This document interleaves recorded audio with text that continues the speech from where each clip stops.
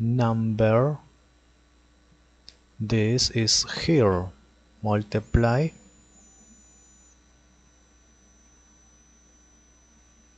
Hour is here. Seconds. The last digit is zero therefore eliminate. Always with zero. Can be simplified because can be divided by the same number.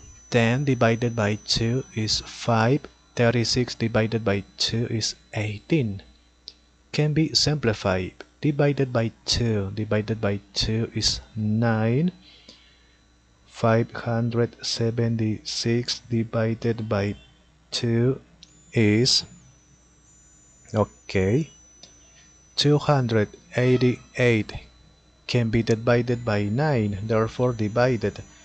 Divided by 9 is 32 multiplied by 5 is 160 okay.